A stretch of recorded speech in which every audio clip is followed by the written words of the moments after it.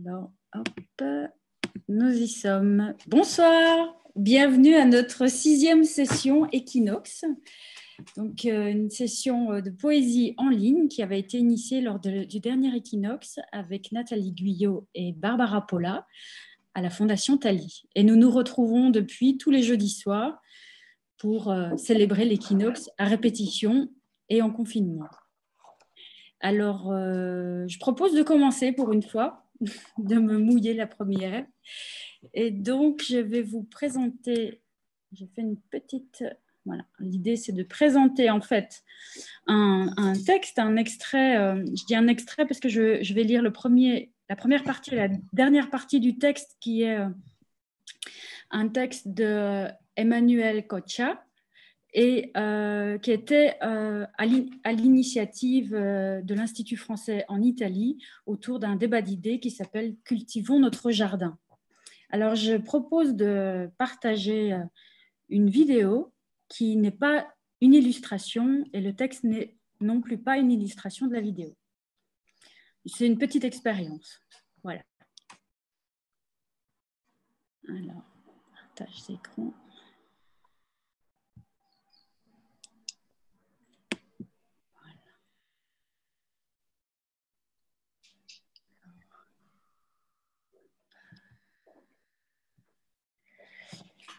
Nous avons profondément transformé le monde et la Terre, et pourtant ce changement nous paralyse.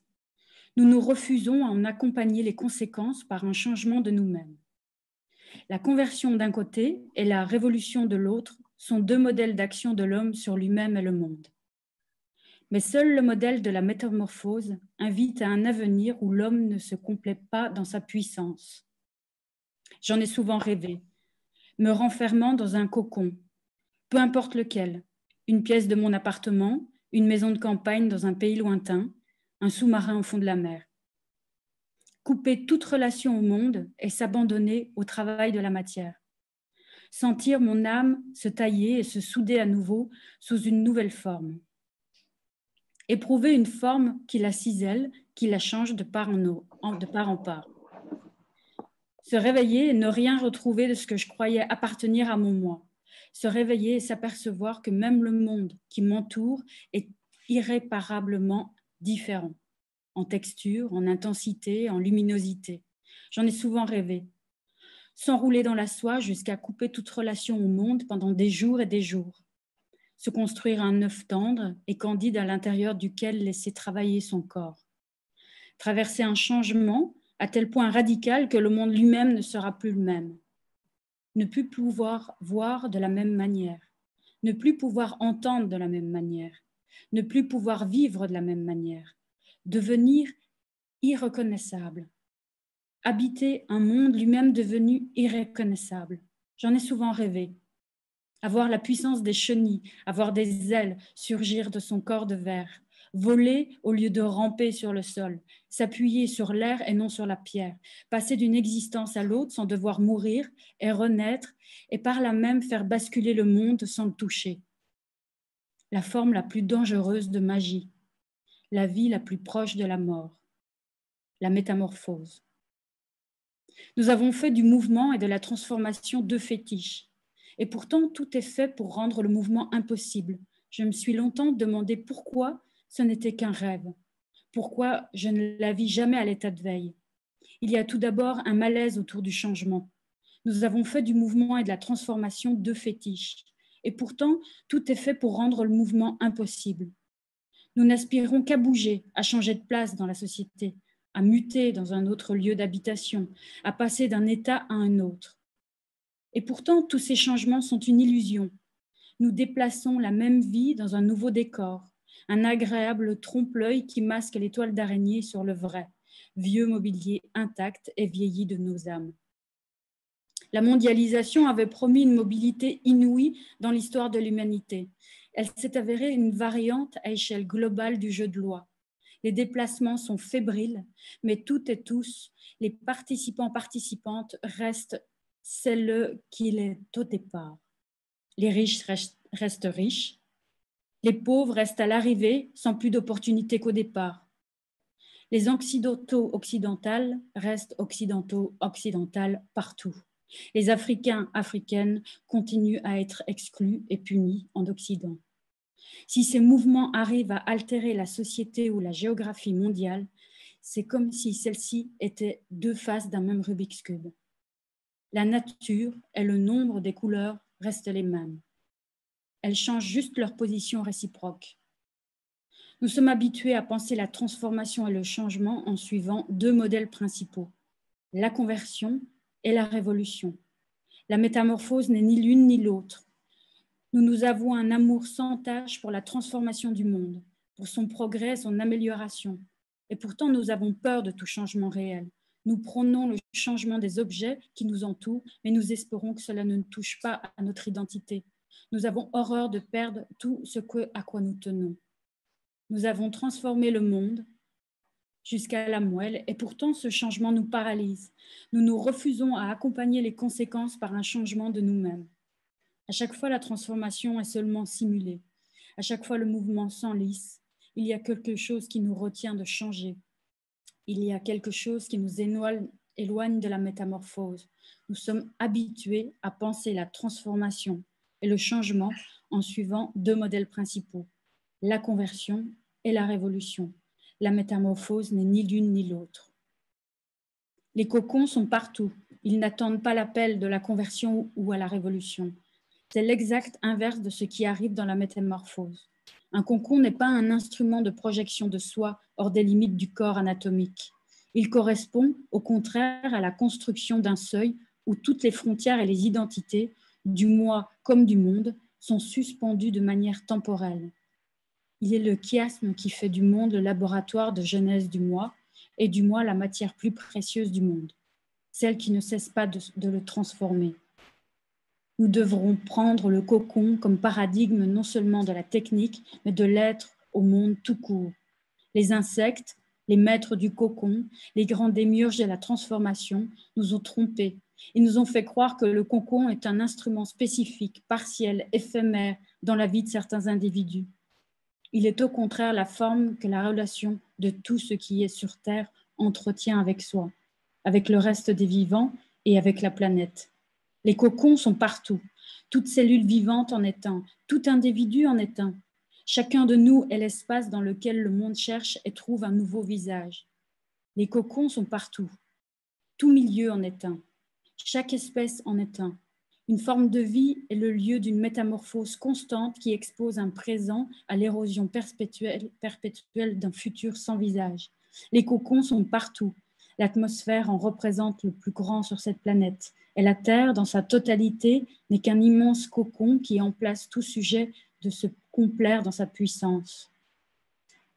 Les cocons sont partout. Ils n'attendent pas l'appel de la conversion ou à la révolution à l'intérieur d'eux se construit sans cesse un futur irreconnaissable et imprédictible qui a déjà obligé plusieurs fois chacun de vous et tout ce qui vous entoure à changer d'anatomie.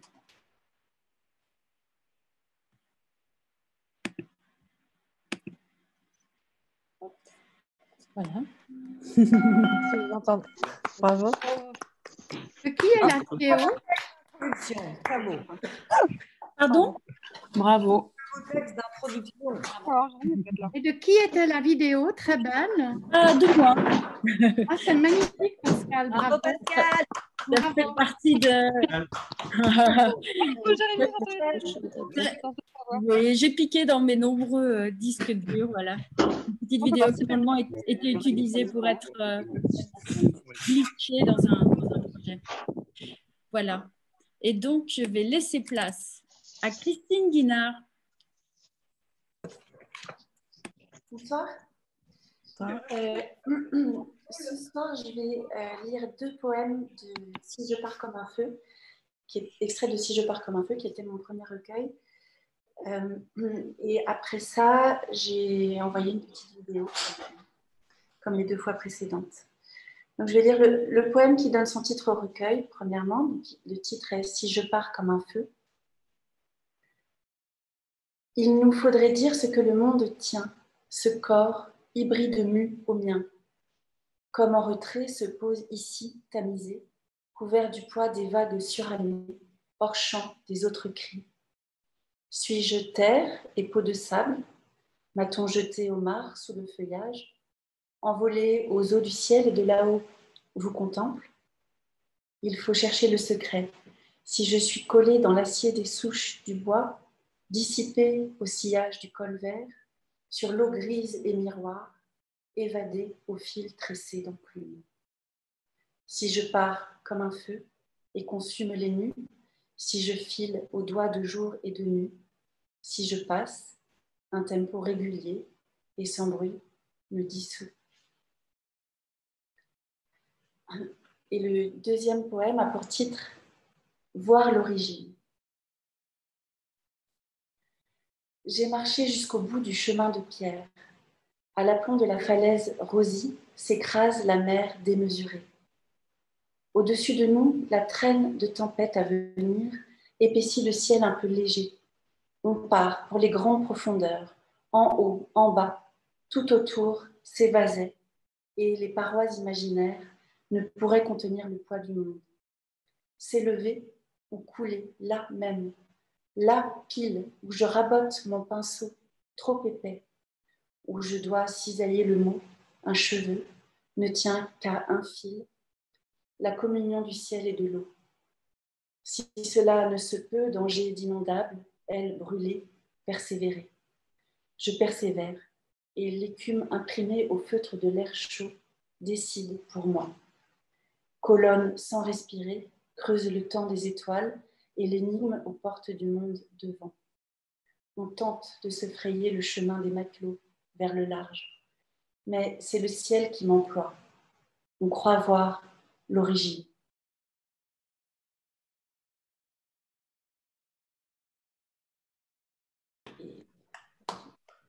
Bravo. Bravo. Euh, Bravo. Bravo. Vidéo partagée par Claire. On passe à la personne suivante et on revient plus tard avec la vidéo de Christine. Eh bien, on va entendre euh, Sandra de Vivis.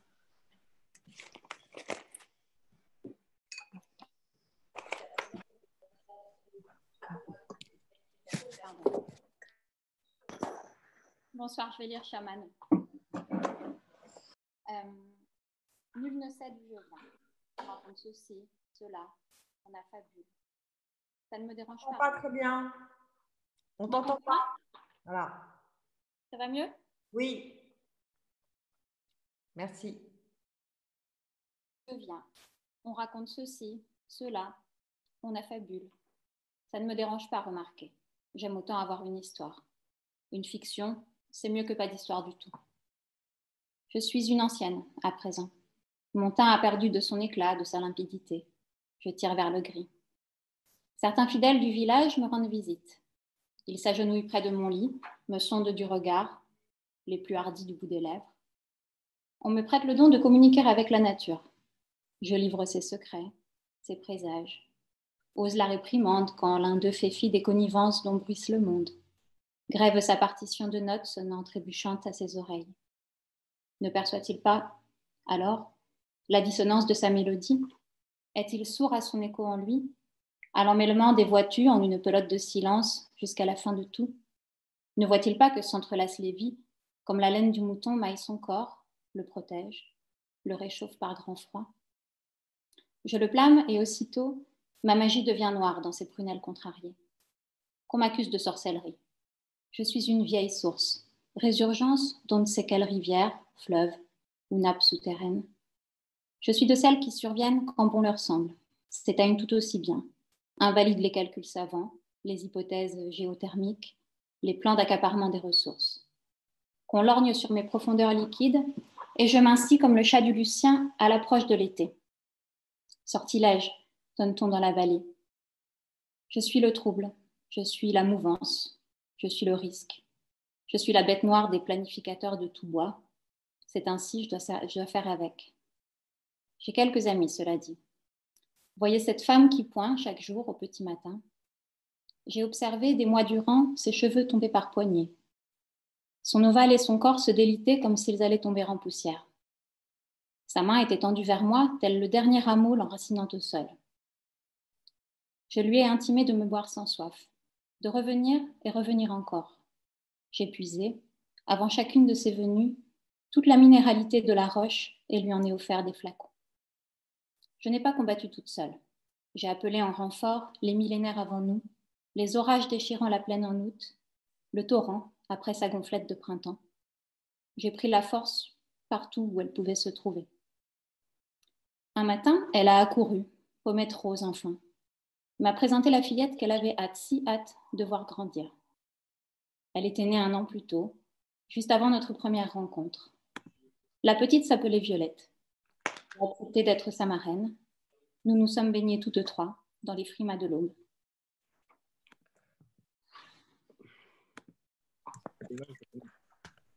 Bravo.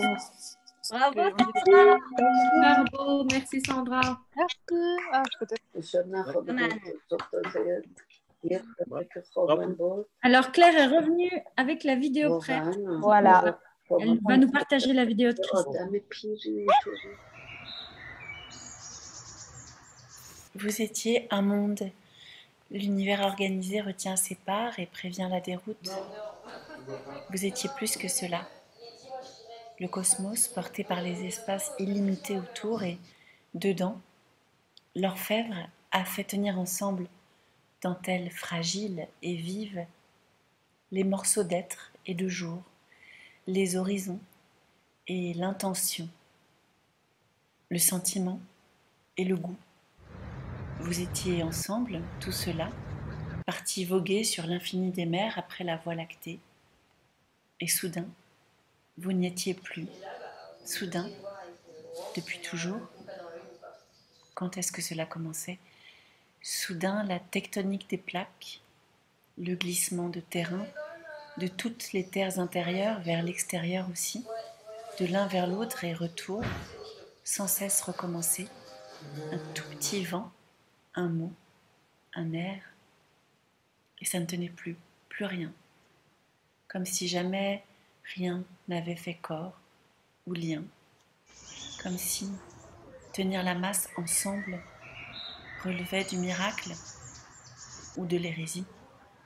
Comme si rien n'avait eu à voir, les formes, les sens, le son, un corps troué, le contour préservé, le territoire sauf en apparence, mais rien, comme si rien, des bouts de rien, de soi et d'autres, qui avaient tenté agglutiner, de faire bloc en hiver.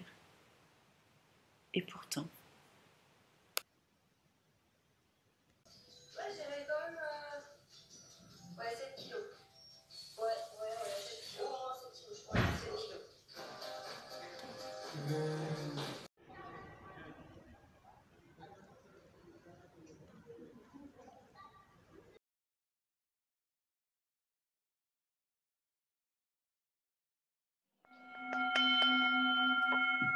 On peut dire bravo là. Bravo Christine.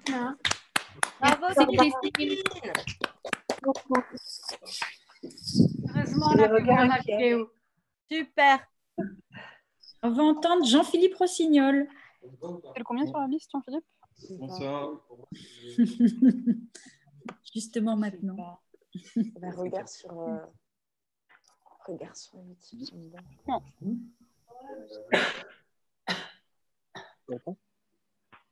mignon.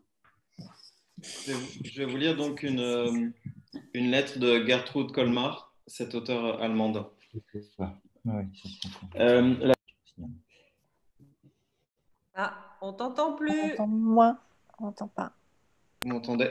Oui, La lettre de Gertrude Colmar date du 26 janvier 1943 et elle est adressée à sa sœur. Ma chère petite sœur, dans ma carte d'il y a deux jours, j'avais l'immodestie de te demander une lettre, une lettre assez longue, et voilà, mon vœu fut exaucé le soir même. Je cherchais quelque chose dans ma bibliothèque. Je suis tombé sur ton voyage en Grèce et je l'ai lu avant d'aller me coucher. Je dois le redire, c'est magnifique. Dans cette petite œuvre, tu t'es comme élevée au-dessus de toi-même, une poétesse.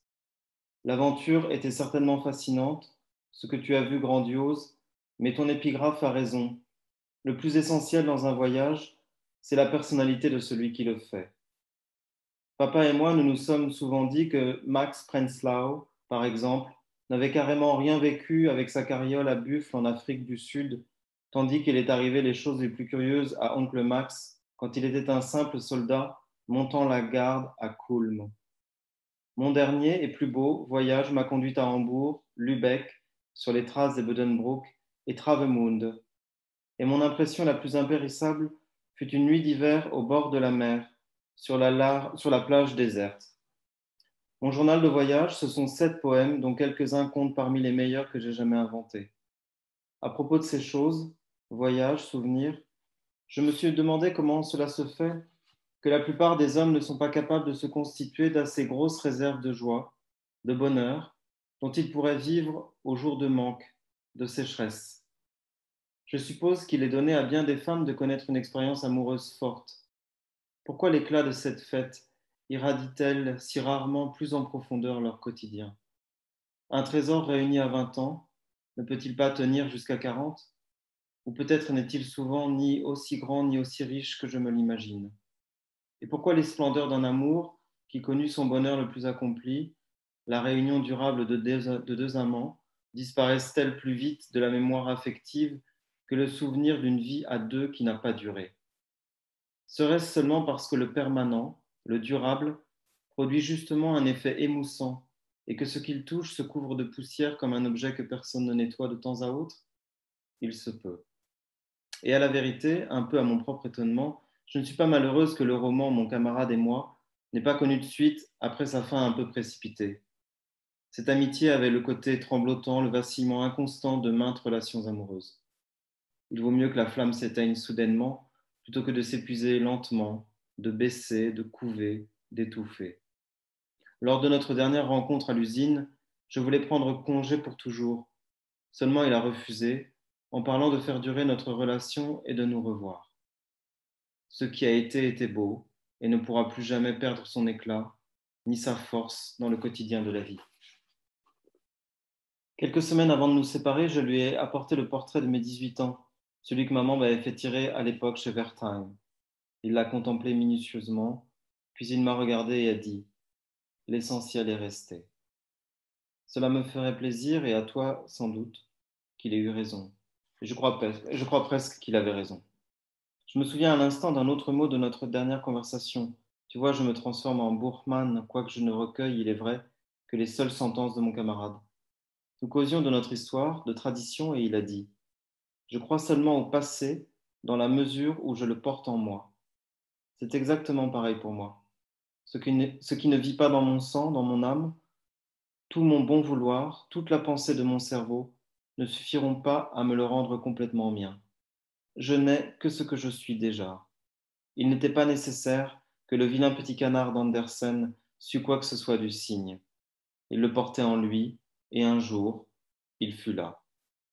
La raison pour laquelle maintes bonnes choses du passé, maintes usages respectables ne sauraient revivre, au grand regret de ces rénovateurs, c'est qu'aucun de nos contemporains n'emporte en lui ne serait-ce qu'une once. Le constat vaut aussi pour les tentatives de ranimer des religions depuis longtemps endormies, au rite et au rythme desquels le cœur des foules ne bat plus, qui ne vont plus en fait que des mots et des dates dans un livre d'histoire. Une part de ce qui a été a grandi et s'est transformé en être au-dedans de moi, à tel point que je ne saurais plus l'arracher sans me blesser gravement. Passé, histoire.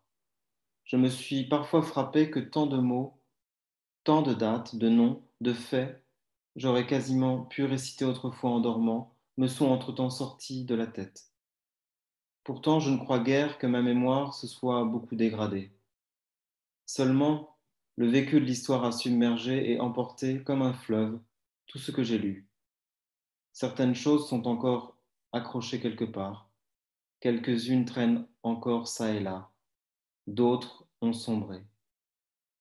Je joins deux pages de mon journal de voyage plus de poésie que de vérité, et pourtant de la vérité aussi. Et je vous salue, toi et la chère petite, dont je ne me suis pas du tout soucié dans cette lettre, mais elle me le pardonnera. Trude. Bravo. Jean-Philippe. Tu peux te présenter, Jean-Philippe, rapidement? Euh, merci d'abord de m'avoir invité, Pascal et Barbara. Euh, je suis écrivain et, et voilà, je vis à Brest. Ah non, non. Puisque c'est ce qu'on on vous demande de brièvement vous, racon- vous raconter? Vous raconter, c'est le mot aussi, avant d'intervention. Et c'est vrai que dans le, dans le flux, euh, il y a- on, on finit par oublier. Donc, je le rappelle ici. C'est vrai. Merci. Merci. Alors maintenant, nous avons Maria Kakodiani, qui a invité deux lectrices, Maud Bouénic et Léa Stejpovic. Désolée si je prononce mal sûrement ton, prénom, ton nom de famille, pardon. Et je vais vous laisser vous présenter et lire le texte de Maria. Merci.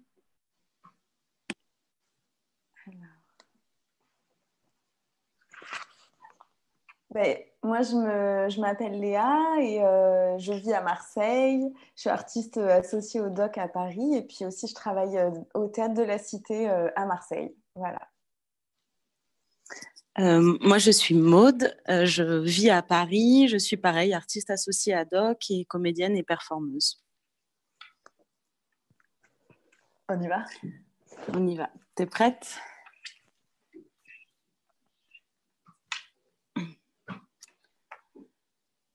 Breathe. Dans le monde végétal, certains arbres maintiennent entre eux et entre leurs propres branches maîtresses une certaine distance appelée fente de timidité. Un phénomène similaire existe au niveau des racines. Pourquoi laisser vide un espace potentiellement utilisable? Et quelle distance dans le rapport à soi-même, entre ses propres racines, ses habitudes, ses défauts Dans un autre jardin, enfermé dans une boule de plexiglas, un peu plus loin, des mesures de distanciation sociale pour faire barrage à un virus. Celui-ci est parti d'une ville complètement ivre de pollution. Là où les poumons sont affaiblis, un virus qui s'attaque aux poumons et survit longtemps sur le plastique. Le problème n'est pas tant le virus, c'est le milieu. Milieu toxique, ravageur et ravagé. On oublie souvent l'importance. On oublie souvent l'importance entre Et parler taire. et se taire. T, E, 2 R, E. Avoir un rapport avec la Terre. On préfère tout de suite opposer le On préfère tout de suite au silence. opposer le au discours au silence ou au brouhaha, inventant ainsi plein de manières de laisser, de laisser parler parler et faire et taire. taire. C'est le double indispensable et complice du, laisser, du faire vivre et laisser Faire vivre et laisser mourir. T'as vu? Ils ont fermé les ponts d'eau pour que les SDF ne puissent pas y accéder. Laisser la prolifération virale des paroles et faire taire les anomalies, les aberrations, les barbares. Sur le terrain stable de la grammaire, on, est un pronom indéfini. On doit se laver les mains. On doit sacrifier quelques vies pour l'économie. Dans les milieux toxiques, les on prolifèrent beaucoup plus vite que les bactéries. Et nous N-O-U-E-S. Et nous Voilà ce qui devrait être considéré comme une faute grave d'orthographe. On a traité nos forêts comme nos écoles, telles des champs de monoculture, soumis à la rentabilité, au culte du mérite, à l'évaluation perpétuelle.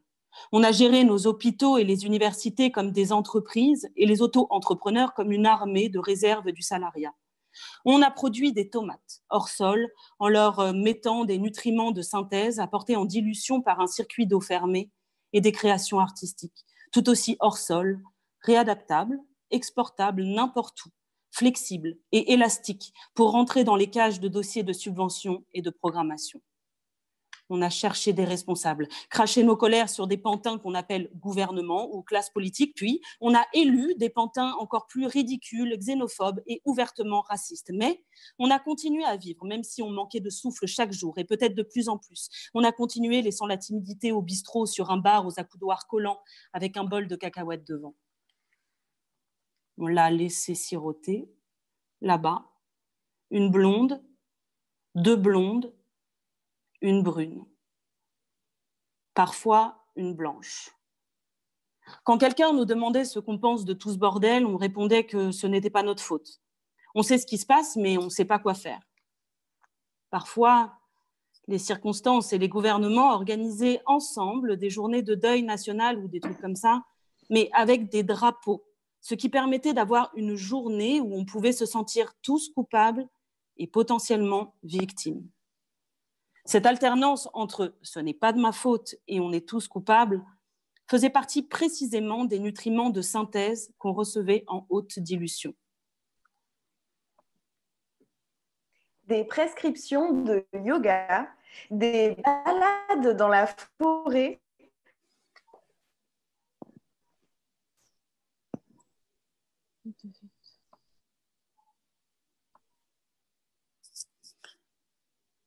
Tu peux reprendre, je pense, Léa, on ne t'a pas entendu.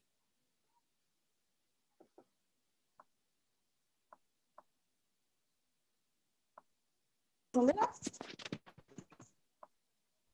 Vous m'entendez?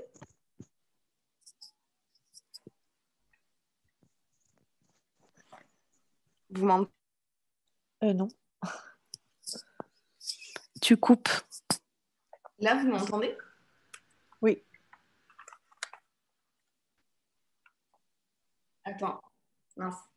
Ça marche là? Oui, là, c'est bon. On t'entend. Ok, je vais me rapprocher. Alors, des prescriptions de cours de yoga, des balades dans la forêt ou des cours de chant étaient aussi administrés régulièrement. Et ce n'était pas de trop. Et nous? N-O-U-E-S. Et nous Et nous Une noue est un fossé herbeux en pente douce, aménagé ou naturel, qui recueille des eaux. Sans nous, les villes s'exposent aux inondations. Sans nous, les zones humides se font rares. La terre sèche. Même émue. Le désastre n'est pas devant. Nous sommes les enfants du désastre. C'est cette forme étrange qui dit nous, sans être juste une collection des jeux qu'il a subis. Nous sommes les enfants illégitimes, monstrueux et fabuleux, faits de terre et de puces électroniques, hybrides, chimères, de l'art de vivre dans des milieux dévastés. Nous sommes le travail féminisé, Féminisé, précaire, précaire, non non déclaré, les caissières, les, les, les soignantes, soignantes, les éboueurs, les éboueurs, les invisibles des entrepôts d'Amazon qui croient croient avec la destruction avec de la, la forêt amazonienne, de la forêt amazonienne, vie jetable, mal formés, épuisée. parasites. Nous sommes les restes de leurs indices de performance. Nous sommes les questions à toutes leurs réponses. Nous sommes le sol glissant d'une grammaire où la police assassine. Nous sommes la fièvre du 49-3. Soigner, c'est guérir et lutter. Soigner, c'est lutter et guérir. Soigner, Soigner c'est guérir et et lutter. lutter. Breathe. Breathe. Texte de Maria Kakojani. Trois séances, Oui, je suis euh, sûr. On est Ah. Bah Merci. juste dire à tout le monde là-haut. C'est au tour de Nathalie Guyot. Bonsoir. Bonsoir. Moi. Merci. Moi, je suis gardienne de phare l'hiver et chasseuse d'amphores l'été. Et j'ai aussi euh, créé une fondation, la Fondation Tali, parce que j'ai une passion, une passion pour l'art et les artistes. Euh, et ce soir, j'ai une passion aussi pour l'écriture, la poésie, que je lis et que j'écris. Et euh, ce soir, je vous emmène au début du XXe siècle, en 1903. Je vous emmène à découvrir la texture, la chair de, l'écriture de Rainer Maria Rilke, euh, qui sert un peu d'objecteur de, conscience, en tous les cas qui joue le guide, l'objecteur de conscience pour un tout jeune poète, Franz Capus. Vous connaissez, j'imagine, ce texte, ses lettres. Et je vais vous lire une de ses premières lettres qui parle de la texture, de la chair, de la, de la poésie et des enjeux de l'écriture, mais aussi de la solitude, de la solitude qu'on a nécessairement quand on est artiste et quand on crée. Vous demandez si vos vers sont bons. Vous me le demandez. Vous l'avez déjà demandé à d'autres. Vous les envoyez à des revues. Vous les comparez à d'autres poèmes. Et vous vous inquiétez si certaines rédactions refusent vos tentatives. Eh bien, puisque vous m'avez autorisé à vous conseiller, je vous prie de renoncer à tout cela. Vous regardez vers le dehors, et c'est là précisément ce que vous devriez ne pas faire aujourd'hui. Personne ne peut vous conseiller, ni vous aider. Personne. Il n'est qu'un seul moyen. Rentrez en vous-même. Cherchez la raison qui, au fond, vous commande d'écrire. Examinez si elle déploie ses racines jusqu'au lieu le plus profond de votre cœur. Reconnaissez-le face à vous-même. Vous faudrait-il mourir s'il vous était interdit d'écrire? Ceci surtout. Demandez-vous à l'heure la plus silencieuse de votre nuit, dois-je écrire? Creusez en vous-même vers une réponse profonde. Et si cette réponse devait être affirmative, s'il vous est permis d'aller à la rencontre de cette question sérieuse avec un fort et simple ⁇ Je dois ⁇ alors construisez votre vie selon cette nécessité. Votre vie, jusqu'en son heure la plus indifférente, la plus infime, doit se faire signe et témoignage par cette poussée. Approchez-vous alors de la nature. Essayez alors, comme un premier homme, de dire ce que vous voyez. Vivez, aimez, perdez. N'écrivez pas de poèmes d'amour. Évitez d'abord ces genres trop courants, trop habituels. Ce sont les plus difficiles, car on a besoin d'une grande force, d'une force mûrie pour donner ce qu'on a en propre là où de bonnes et parfois brillantes traditions se présentent en foule. Fuyez donc les motifs communs pour ce que vous offre votre propre quotidien. Décrivez vos tristesses, vos désirs, vos pensées passagères, la foi en une beauté, quelle qu'elle puisse être. Décrivez tout cela avec une probité profonde, calme, humble, et utilisez pour vous exprimer les choses qui vous entourent, les images de vos rêves et les objets de votre mémoire. Si votre quotidien vous paraît pauvre, ne l'accusez pas. Accusez-vous vous-même de n'être pas assez poète pour en appeler à vous les richesses. Car pour le Créateur, il n'y a de pauvreté, il n'y a pas de pauvreté. Il n'est pas d'endroit pauvre, indifférent. Et si même vous étiez dans une prison, si les murs ne laissaient venir à vos sens aucun des bruits du monde, alors n'auriez-vous pas toujours votre enfance? Cette richesse délicieuse et royale, ce trésor de souvenirs. Tournez de ce côté votre attention. Tâchez de renflouer les sensations englouties de ce lointain passé. Votre personnalité se raffermira, votre solitude s'élargira, elle deviendra une demeure, toute de demi-jour, loin de laquelle passera le fracas des autres. Et si, de ce retour en vous-même, de cette plongée dans le monde propre, viennent des vers, alors vous ne songerez pas à demander à quelqu'un si ce sont de bons vers. Vous ne chercherez pas davantage à intéresser des revues à ces travaux. car vous verrez en eux un bien, en eux un bien naturel qui vous sera cher, un morceau et une voix de votre vie. Une œuvre d'art est bonne si elle provient de la nécessité. Dans cette façon de prendre origine réside ce qui la juge. Il n'est pas d'autre jugement. C'est pourquoi, cher monsieur, je n'ai su vous donner d'autre conseil que celui-ci. Entrez en vous-même. Éprouvez les profondeurs d'où jaillit votre vie. C'est à sa source que vous trouverez la réponse à la question Dois-je créer? Prenez-la comme elle sonne sans chercher à l'interpréter. Peut-être se révélera-t-il que vous avez vocation à être artiste. Alors acceptez le destin, portez-le, son fardeau, sa grandeur, sans jamais réclamer une récompense qui pourrait venir du dehors. Car le Créateur doit être lui-même un monde, il doit trouver toute chose en lui et dans la nature à laquelle il s'est lié. Qui connaît même les onglets. Peut-être un beau jour voudras-tu retrouver avec moi le paradis perdu. Oh Nathalie Oh Merci comme écrit pour toi. Merci. Nous allons entendre Marielle Massé.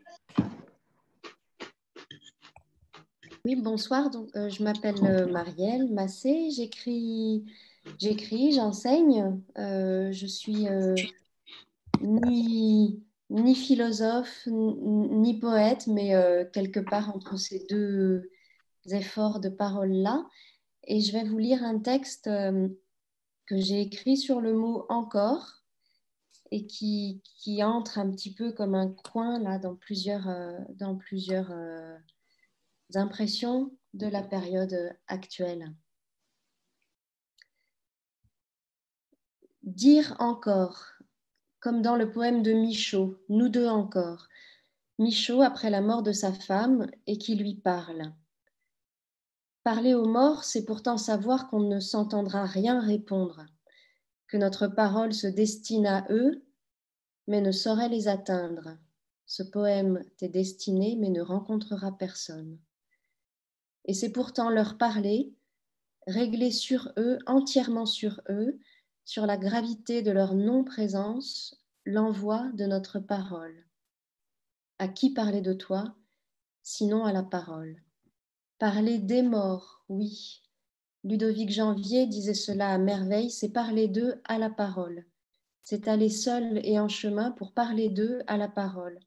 Mais parler aux morts, comme l'écrivait à son tour Pierre Pachet, c'est s'adresser à leur non-oui, à leur non-entendre, à leur non-vie. C'est élargir la tendresse pour les morts jusqu'à s'adresser à leur rien. De même que penser aux morts, ce n'est pas les imaginer dans quelques pays séparés et espérer les y rejoindre. Non, c'est avoir à penser à leur non-vie, à leur rien, à leur douleur d'être rien, les plaindre de n'être rien. Les morts, les pauvres morts ont de grandes douleurs. Et ce n'est pas tenter de les retenir dans la vie, la nôtre, en leur parlant, parce qu'il ne faut pas laisser la vie coloniser jusqu'au royaume des morts, mais chérir leur rien, prendre soin de leur rien, savoir que ce rien aussi prend soin de nous, attend quelque chose, et que notre humanité en dépend. Michaud, endeuillé, donc, disait encore nous deux, nous deux encore. Tu n'es plus, mais nous deux est encore. Et tu n'as pas besoin d'exister en fait pour que nous deux soient encore. Ne crains pas de n'être plus rien, n'aie pas honte de n'être plus rien, toi, puisque nous deux est encore. Encore, ankoram, jusqu'à cette heure, c'est un mot plein de ressources.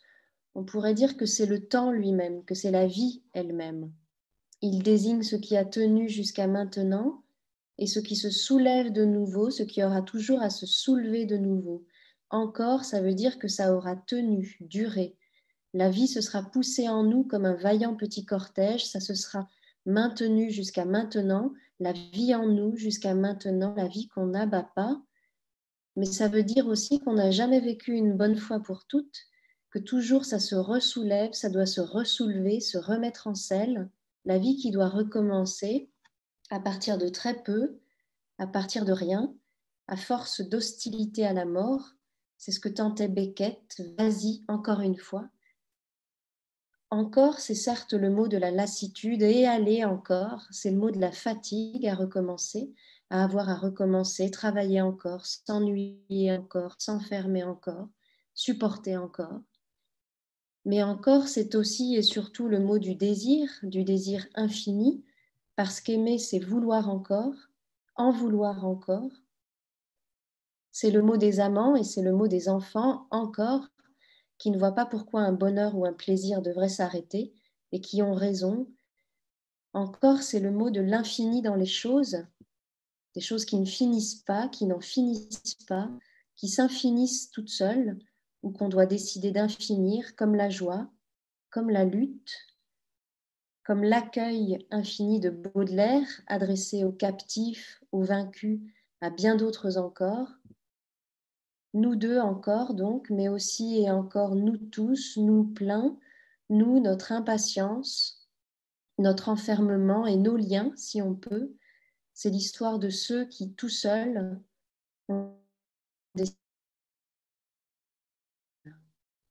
Merci. Bravo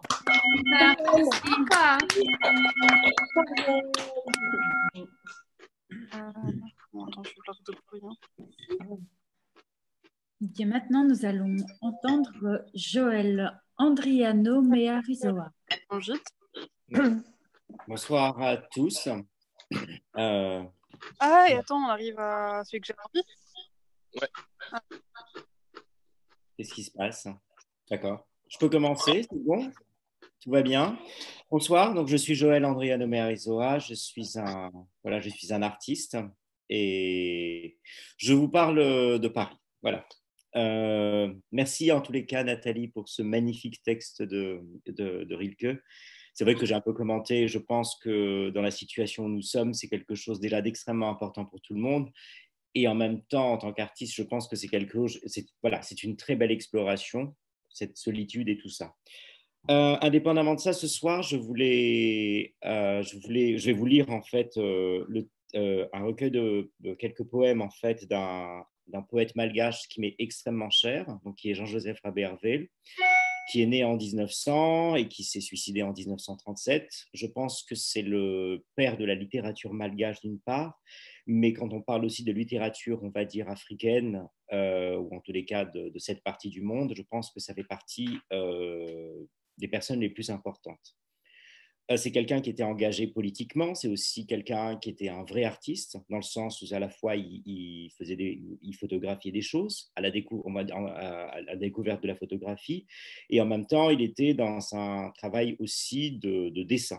Nous sommes dans une période coloniale et nous avons ce cher garçon qui prône la mélancolie malgache euh, jusqu'au bout. Donc je vais vous lire en fait euh, trois textes qu'il a écrits euh, extrait d'un recueil de poèmes qui s'intitule Presque songe. Donc nous sommes dans l'illusion dans et la désillusion, quelque part. Je l'interprète sous cette forme-là.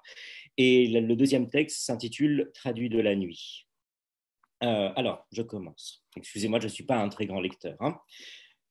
Lire. Ne faites pas de bruit, ne parlez pas, vous explorez une forêt, les yeux, le cœur, l'esprit, les songes. Forêt secrète, bien que palpable, forêt, Forêt bruissant de silence, forêt où s'est évadé l'oiseau à prendre au piège, l'oiseau à prendre au piège qu'on fera chanter ou qu'on fera pleurer. À qui l'on fera chanter, à qui l'on fera pleurer, le lieu de son éclosion, forêt, oiseau, forêt secrète, oiseau caché dans vos mains. Le poème. Parole pour chant, dis-tu, parole pour chant, aux langues de mes morts, parole pour chant, pour désigner les idées que l'esprit a depuis longtemps conçues et qui naissent enfin et grandissent avec des mots pour l'ange. Des mots lourds de l'imprécision de l'alphabet et qui ne peuvent pas encore danser avec le vocabulaire, n'étant pas encore aussi souples que les phrases ordonnées, mais qui chantent déjà, déjà aux lèvres, comme un essaim de libellules bleues au bord d'un fleuve, salue le soir.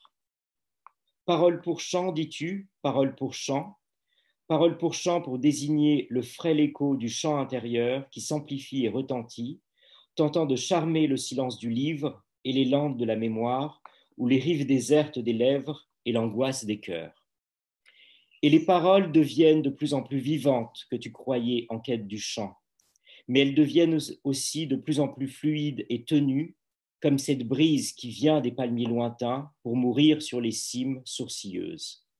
Elles deviennent davantage des chants, elles deviennent elles-mêmes ce qu'elles ont toujours été, jusqu'ici en vérité, et je voudrais changer, je voudrais rectifier et dire chant en quête de parole pour peupler le silence du livre et planter les landes de la mémoire et pour semer des fleurs aux rives désertes des lèvres et délivrer les cœurs, langue de mes morts que tu modules aux lèvres d'un vivant comme les lianes qui fleurissent des tombeaux. Naissance du jour. Avez-vous déjà vu l'aube aller en maraude au verger de la nuit? La voici qui en revient par les sentes de l'Est envahies des glaïeuls en fleurs. Elle est tout entière maculée de lait, comme ses enfants élevés jadis par des génisses. Ses mains qui portent une torche sont noires et bleues comme des lèvres de filles mâchant des murs. S'échappent un, et la précédente, les oiseaux qu'elle a, pris au, a pris au piège.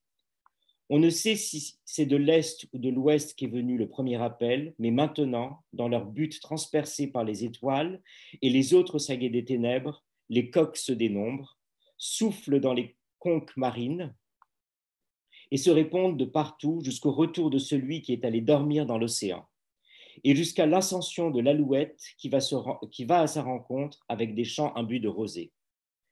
Une autre fondu ensemble toutes les étoiles dans le creuset du temps, puis refroidis dans la mer et sont devenus un bloc de pierre à facettes, lapidaire moribonde la nuit, y mettant tout son cœur et tout le regret qu'elle a de ces meules qui se désagrègent, se désagrègent comme cendres au contact du vent, taille amoureusement le prisme, mais c'est une stèle lumineuse que l'artiste aura érigée sur sa tombe invisible. Merci. Voudras-tu retrouver avec moi les paradis perdus? Bravo. Merci. Bravo, bravo. bravo. Merci. Merci. C'est au tour de Marie de Bougerolles. Bonsoir. Alors, je, je, ne vous vois pas très bien, mais j'espère que vous me voyez. J'ai une lumière intermittente. Euh, je suis très heureuse d'avoir entendu Joël que je ne connaissais pas. Et peut-être qu'après, on pourra parler de Madagascar, avec lequel j'ai aussi une relation particulière. Et je vois que ce soir, il y a beaucoup d'oiseaux et de jardins. Euh, donc moi, je suis commissaire d'exposition et historienne de l'art et, j'écris. Et je voulais vous lire un passage d'un texte que j'avais euh, fait pour une exposition qui s'appelait Hospitalité, qui a eu lieu dans un, endroit qui s'appelle Non-Objectif Sud, dans le sud de la France, qui est un, une maison, une résidence pour les artistes, qui accueille des artistes euh, l'été. Et, euh, et, donc, j'avais écrit ce texte pour, euh, inviter des artistes à passer un été avec moi. Hospitalité. Chers amis, c'est important pour moi de pouvoir écrire, chers amis, en introduction à une lettre pour une résidence et un projet d'exposition. Les fenêtres font le cadre du paysage à partir de la maison. J'ai pensé aux promenades de Pétrarque au Mont Ventoux et aux peintures du Mont Sainte-Victoire obsessionnelles de Cézanne. Venant de vivre une épiphanie sur la route de Marfa, en allant visiter les lieux de vie de Donald Judd, j'ai ressenti des connexions entre ces lieux. Ma première exposition en tant que commissaire indépendante, libre et pauvre, fut en 2001. C'était Intime Nature, à Pouglézo. J'avais cherché un lieu avec une maison et un parc public. Cela parlait de notre perception de la nature au début du XXIe siècle en tant que rurbain, un néologisme formé à partir de rural et urbain. La villa, la cité, la police, la civilisation se sont étendues partout. Même la vallée la plus recluse semble se conformer à un certain cadre. Le paysage, une portion, une section de nature. Le cadre est un seuil qui crée le paysage, passage. À Marfa, on sent que la ligne de l'horizon construit l'image et que le ciel est soutenu par les quatre points cardinaux comme les pieds d'une table. C'est une mesa, une table en espagnol, un plateau élevé. Judd a installé un lieu et je pense que c'est la question du lieu qui est cruciale pour ce que nous faisons. Il y a une maison avec une cour ouverte. La table ouverte, l'arbre, le ciel m'ont fait penser à la question de ce qu'est une maison, un chez-soi, aujourd'hui. Domus. J'ai pensé à ce que c'est l'hospitalité aujourd'hui. Qui sommes-nous pour donner l'hospitalité et d'où la donnons-nous? Je n'ai pas de maison. La plupart d'entre vous venez d'autres pays, d'autres régions, d'autres langues. Nous parlerons un anglais bricolé. Nous nous débrouillerons avec le langage des mains et la langue la plus commune, le partage du repas. La table sera la page ouverte où nous pourrons écrire et réécrire un dialogue incessant. Je suis hantée par les questions de l'hospitalité et du seuil depuis des années. Derrida était une pierre sur mon chemin. J'ai suivi quelques classes à l'Alliance israélite de Paris à propos du texte L'humanité de l'autre homme de Lévinas, qui est important pour moi. Derrida aussi, à travers une personne qui fut une autre pierre sur mon chemin, un Hermès.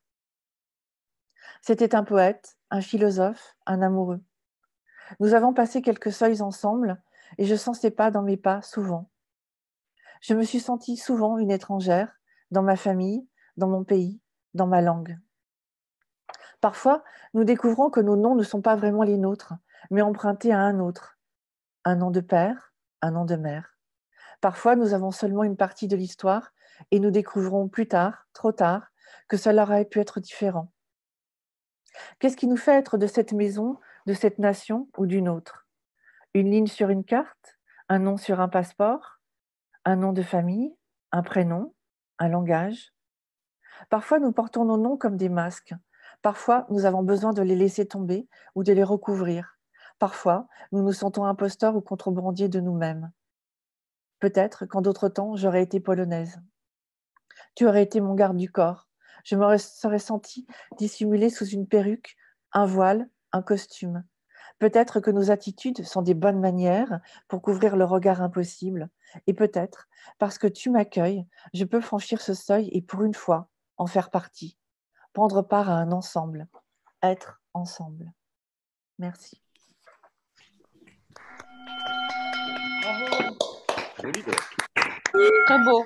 Bravo, bravo, bravo.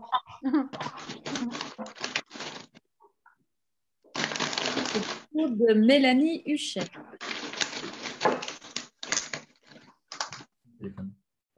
Euh, bonjour, euh, bonsoir tout le monde. Euh, je suis Mélanie Huchette. je suis journaliste culturelle et auteure d'une bande dessinée en cours de réalisation avec l'illustrateur Adrien Notre-Dame. Alors, quelques explications avant de, lire mon texte que j'ai intitulé la, rupture. En fait, la première phrase de, l'histoire que vous allez entendre n'est pas la mienne, euh, mais celle du regretté Hervé Guibert. Je ne sais pas si vous voyez le, livre euh, là. Euh, que j'ai trouvé dans Suzanne et Louise, qui est un roman photo publié chez l'Arbalète Gallimard et qui m'a été chaudement conseillé par Sandra de Vivier, qui est présente parmi nous, et je lui en remercie parce que ce livre est un pur bonheur. Et donc, euh, en fait, mon texte est, le résultat d'un défi qui avait été lancé sur les réseaux sociaux euh, pendant ce confinement, où il fallait prendre un livre que, l'on aimait, euh, fermer les yeux, tourner les pages et, noter la phrase sur laquelle on tombait. Et j'ai songé dans les premières secondes que ça serait impossible ou très difficile pour moi de commencer une nouvelle avec cette phrase qui est si puissante et si impudique. Euh, mais en fait, très rapidement, j'ai compris que cette phrase d'Hervé Guibert euh, était le déclencheur parfait d'une histoire que j'avais écrite une dizaine de fois, une centaine de fois dans ma tête. Voilà. Donc n'oubliez pas que la première phrase n'est pas la mienne, mais celle d'Hervé Guibert. et c'est une phrase qu'il adresse à ses tantes. La rupture. La lettre que je pourrais t'écrire pourrait être indécente. Ce serait une lettre d'amour.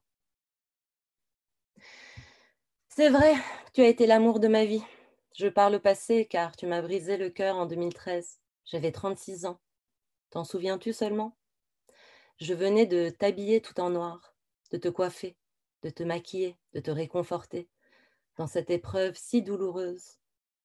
Je t'ai aidé à te lever et c'est là, en te dirigeant dans la cuisine, que tu as prononcé de ce regard noir que je n'avais jamais perçu chez toi, ces mots surréalistes et si cruels. Pour toi, il s'agissait sûrement d'une vétille. Pour moi, c'était un monde construit avec toi qui s'effondrait. Je fus prise de vertige, partie complètement à la dérive. Je suis la première de tes petits-enfants, mais ce n'est pas cette place en haut du podium qui m'a valu l'honneur de notre complicité et de notre relation atypique. Non, c'est parce que ta fille m'a laissé à l'âge de un an chez toi en Angleterre.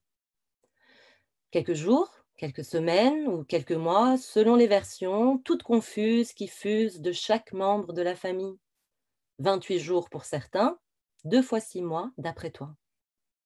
Quoi qu'il en soit, le temps a dû me paraître suffisamment long pour que je te prenne pour ma mère. Tu étais devenue ma mère, mon tout, mon unique amour. Tu m'as lavé, habillé, fait à manger, montré les vaches, les chevaux, les fées, les renards, les hérissons, les taupes qui venaient dès la nuit tombée manger tes plats iraniens que tu leur avais laissés dans ton jardin.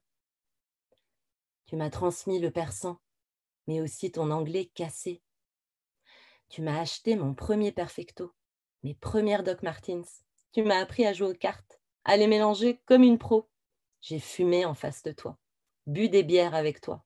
Tu m'as teint les cheveux en rouge. Tu m'as calmé, rassuré et tant aimé. J'ai passé ma vie à t'embrasser et toi à me repousser. Pas par manque d'amour, non, mais par ignorance de gestes affectifs non transmis par tes parents russes et robustes. Assise à côté de toi sur le canapé, j'essayais de rentrer dans ton cou, de rentrer dans ta nuque, de rentrer en toi, en toi, pour que tu me portes dans tes entrailles afin d'être officiellement ton enfant. Je te sniffais, te reniflais pour apporter dans mes bagages ton odeur, mais aussi ton rire, ce rire unique que tu as encore, qui jaillit du fond de la gorge comme un grand i, ce rire si fort qu'il t'oblige à fermer les yeux, provoquant des soubresauts violents dans ton corps. Tu as toujours été d'une stabilité exemplaire. Ton humeur n'a jamais connu les montagnes russes. Tu étais ma colonne vertébrale. Sept ans ont passé depuis ces mots. Tu les prononceras à nouveau en 2015, en 2017, en 2018. Plus rien ne sera comme avant. Tu m'as remplacé et je sais très bien par qui. Plus rien ne sera comme avant. J'ai essayé d'être l'objet de ton affection. Tu as rompu, rompu avec moi. Et tu sais quoi? Ce n'est pas plus mal, car en cessant de t'idéaliser, je peux enfin t'aimer sans excès comme une petite fille est censée aimer sa grand-mère, toujours aimante, toujours vivante.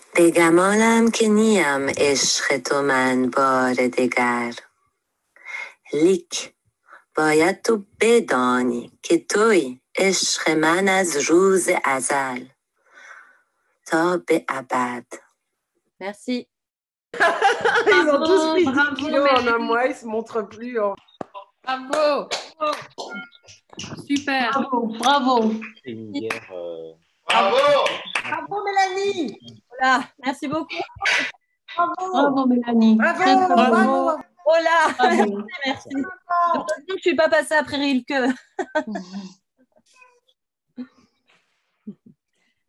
Nous allons entendre Christophe Fiat.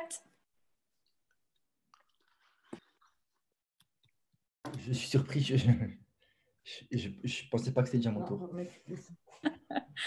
Pas de souci. Vous- vous- Prends ton temps. Ouais, bon, ouais. Bah, bonjour à tout le monde. Et puis voilà, c'est la troisième ou quatrième fois que je suis invité par Pascal et, et Nathalie, je crois. Voilà, et donc je suis écrivain, j'ai publié une, une, une, une, quinzaine de livres depuis, euh, depuis 2000. Je fais de la performance aussi et, et je travaille aussi Ouais, pour le Il y a un mec. Je fais des... Vous m'entendez? Ah. Vous m'entendez? On t'entend très bien, Christophe. Oui, d'accord. ok. Quelqu'un qui est- nous a euh, rejoint avec un micro ouvert. Voilà, on te laisse continuer. Voilà. Et j'ai aussi donc et je fais aussi des mises en scène euh, voilà à partir de mes propres textes. Et, et ma dernière création théâtrale c'est Cléopâtre in Love, voilà qui a été créée l'année dernière au Nouveau Théâtre de Montreuil avec euh, avec Judith Henry, voilà euh, comme comme interprète. Et donc c'est un extrait de, bah, de cette pièce qui est, qui écrite donc pour euh, pour la scène, pour euh, pour l'écoute que je vais vous lire. Alors, euh, c'est deux, deux extraits, deux passages qui ressemblent à, à des poèmes. Voilà, euh, je ne veux pas rivaliser avec, avec Judith Henry concernant le, le- monologue de, de Cléopâtre in Love. Et donc, ces deux poèmes voilà, apparaissent. Donc, le premier apparaît en, apparaît en début de la pièce euh, au moment où Cléopâtre voilà, ré- ré- réfléchit sur, euh, sur son destin euh, politique. Et le second est une complainte, apparaît en, fin de la pièce. Voilà, on a une Cléopâtre amoureuse de, Marc-Antoine, voilà, qui s'adresse à lui. Alors, le, premier texte, le premier poème, s'intitule Comment faire pour avoir une poigne de fer? Les reines ont des tempéraments de fer, contrairement au roi, à la guerre comme à la guerre, même si je doute parfois. Les reines ont une longue pratique des poisons, contrairement au roi. Elles ne frappent qu'une fois à l'occasion, même si elles doutent parfois. Les reines ont des miroirs qui les rendent belles, contrairement au roi. Je n'ai jamais eu peur d'être cruelle, même si je doute parfois. Les reines donnent des enfants qui sont des forces de la nature, contrairement au roi. Mais rien ne dure, rien ne dure, rien ne dure, et je doute parfois. Les reines sont souvent traitées de grandes putains, contrairement au roi. Mais les reines n'ont peur de rien, même si elles doutent parfois. Dommage que les reines soient mortelles, contrairement au roi. Je hais la sélection naturelle, même si je doute parfois. Le deuxième euh, poème, le deuxième texte s'intitule donc la, la complainte de Cléopâtre. Adieu, adieu, adieu, ne m'oublie pas que les déesses et les dieux nous protègent des faux pas. Je ne sais pas combien de temps nous allons rester séparés. C'est bientôt le printemps et tu n'es toujours pas rentré. Mon cœur est serré, mes yeux pleurent des larmes de sang. Je n'entends plus battre mon cœur, j'ai un mauvais pressentiment. Est-ce que tu m'aimes encore? Est-ce que tu penses à moi tous les jours? J'ai pour toi une armure en or que je garde pour ton retour. Je t'aime comme une panthère, à un point que tu n'imagines pas. Je t'aime comme un serpent de mer, à un point que tu n'imagines pas. Si les Égyptiennes pissent debout, elles n'en sont pas moins sentimentales. J'ai rêvé que tu étais jaloux et que tu étais colossal. Voilà. Très bien.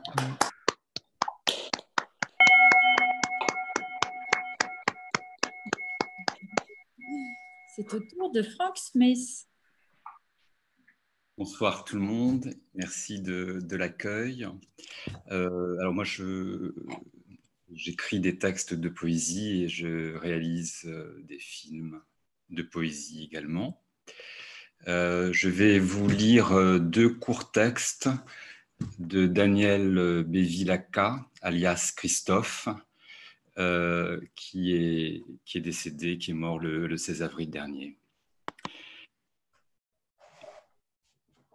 La première chanson s'intitule Paradis perdu. Dans ma veste de soie rose, je déambule, morose. Le crépuscule est grandiose, mais peut-être un beau jour voudras-tu retrouver avec moi des paradis perdus. Dandy un peu maudit, un peu vieilli, dans ce luxe qui s'effondre. Te souviens-tu quand je chantais dans les caves de Londres, un peu noyé dans la fumée, ce rock sophistiqué? Toutes les nuits, tu restais là, mais peut-être un beau jour voudras-tu retrouver avec moi les paradis perdus Bandit un peu maudit, un peu vieilli, les musiciens sont ridés. Sur ce clavier qui s'éjaunit, j'essaye de me rappeler encore une fois les accords de ce rock sophistiqué qui étonnait même les Anglais. Mais peut-être un beau jour voudras-tu retrouver avec moi les paradis perdus. Et puis j'ai choisi un- une deuxième chanson de Christophe qui s'intitule Les mots bleus. Il est six heures au clocher de l'église. Dans le square, les fleurs poétisent. Une fille va sortir de la mairie. Comme chaque soir, je l'attends. Elle me sourit. Il faudrait que je lui parle à tout prix. Je lui dirai les mots bleus, les mots qu'on dit avec les yeux. Parler me semble ridicule devant une phrase inutile qui briserait l'instant fragile d'une rencontre, d'une rencontre. Je lui dirai les mots bleus, ceux qui rendent les gens heureux. Je l'appellerai sans la nommer, je suis peut-être démodé. Le vent d'hiver souffle en avril, j'aime le silence immobile d'une rencontre, d'une rencontre. Il n'y a plus d'horloge, plus de clocher, dans le square les arbres sont couchés. Je reviens par le train de nuit, sur le quai je la vois, qui me sourit. Il faudra bien qu'elle comprenne à tout prix. Je lui dirai les mots bleus, les mots qu'on dit avec les yeux. Toutes les excuses que l'on donne sont comme les baisers que l'on vole. Il reste une rancœur subtile qui gâcherait l'instant fragile de nos retrouvailles. De nos retrouvailles. Je lui dirai les mots bleus, ceux qui rendent les gens heureux. Une histoire d'amour sans parole n'a plus besoin du protocole, et tous les longs discours futiles terniraient quelque peu le style de nos retrouvailles. De nos retrouvailles. Je lui dirai les mots bleus, les mots qu'on dit avec les yeux. Je lui dirai tous les mots bleus, tous ceux qui rendent les gens heureux, tous les mots bleus, tous les mots bleus. Merci. Bravo. Bravo. Merci. Alors, Franck, c'est un petit peu dommage, on ne t'a pas vu. Ah oui, parce qu'on a vu que moi, en fait. C'est ça, Pascal? Oui, parce que Franck tu n'avait pas la vidéo activée, donc c'était sur le dernier, euh, la dernière intervention, oui. Bah, tu vois, Ah Franck, Franck, désolé. on a vu Christophe. Christophe. Euh, je, je crois que, je crois que c'est bien mieux ainsi. Donc, pourtant, j'avais mis une robe de soie rose. euh, je suis vraiment désolé. Oh non On, on peut la voir, la, la robe de soie, euh, Franck Christophe, euh, dans un salon privé. Merci. On va entendre Alèche Nicard. Bonsoir euh, à toutes et à tous. Euh, je suis Halé, euh, je suis poétesse et artiste visuelle, euh, vivant en Belgique, à Bruxelles depuis euh, 13 ans maintenant, et je suis d'origine iranienne. Euh, ce soir, je vais vous présenter une euh, vidéo intitulée À l'envers, euh, qui illustre un dialogue et un vécu personnel. Euh, je vous invite à, le voir. Tu fais quoi? J'écris. Tu écris? Mais tu écris quoi? J'écris. Mais tu écris de droite à gauche? Comment? Euh, D'où je viens, nos livres se lisent de droite à gauche, c'est-à-dire que l'on écrit de droite à gauche aussi. À l'envers, tu veux dire Euh, Ça dépend pour qui, tu sais. Pour vous, c'est peut-être à l'envers de ce que vous connaissez. Pour nous, c'est à l'endroit. Et peut-être que comme vous, vous écrivez, c'est à l'envers. Tu ne crois pas? Pas vraiment, non. Partout, on écrit de gauche à droite. C'est normal d'écrire avec notre alphabet. Hmm, Mais il y en a d'autres alphabets aussi, d'autres autrement différentes. En Belgique, nous écrivons de gauche à droite et c'est bien comme ça. Des années se sont passées depuis cette conversation dont je me souviens que de bribes. J'étais en première année de haute école à Bruxelles. Avec un français totalement approximatif, j'arrivais difficilement et avec énormément d'efforts à faire la distinction entre les mots cheveux et chevaux. C'est une étudiante de ma classe, Amandine, elle s'appelait, je crois. Elle m'a interpellée alors que j'écrivais un poème en persan au coin de mon carnet. Elle ne comprenait pas la logique dans mon acte d'écriture. Et moi, je ne comprenais pas. Je ne comprenais juste pas ce que je faisais là et pourquoi elle m'interpellait alors que je n'avais rien demandé à personne. Au début, ce n'est jamais facile. On te dit, oublie ta langue maternelle, oublie tes amis, oublie tes gens, oublie ta maison, oublie tout. Avance, ne recule pas. Laisse ton cœur derrière, tu avances droit au but. En gros, on te demande d'arracher tes racines. Mais qu'est-ce qu'un arbre devient sans ses racines? Au début, rien n'est facile. Il faut s'adapter. Il faut surtout s'intégrer. Mais qu'est-ce que ça veut dire l'intégration?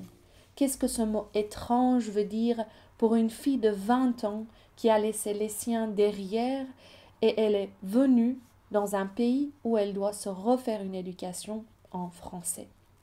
À une époque où lorsqu'elle veut s'acheter une glace, elle se retrouve avec un pot de crème au lieu d'un peu de crème sur sa glace. Rien n'est facile au début, et je me suis intégrée. J'ai taillé mes racines, j'en ai fait des boutures. J'ai coupé mes cheveux courts en laissant une petite tresse fine sur le côté. J'ai appris à écrire en français, à bien écrire de gauche à droite. J'ai transformé ma langue des sentiments non seulement en français, mais aussi en anglais. Aujourd'hui, treize ans après cette discussion, non seulement j'écris de gauche à droite, mais je réfléchis aussi de gauche à droite. Mes poèmes sont parfois écrits de droite à gauche et parfois de gauche à droite. Et je me suis intégrée, tellement que je peux dire sans crainte d'être jugée, que je sens de plus en plus l'envie de me reconnecter avec ma langue maternelle et l'écriture de droite à gauche, sans être questionnée. Parce que nos racines, c'est ce qui fait de nous des arbustes dans l'espérance de devenir des arbres à haute tige.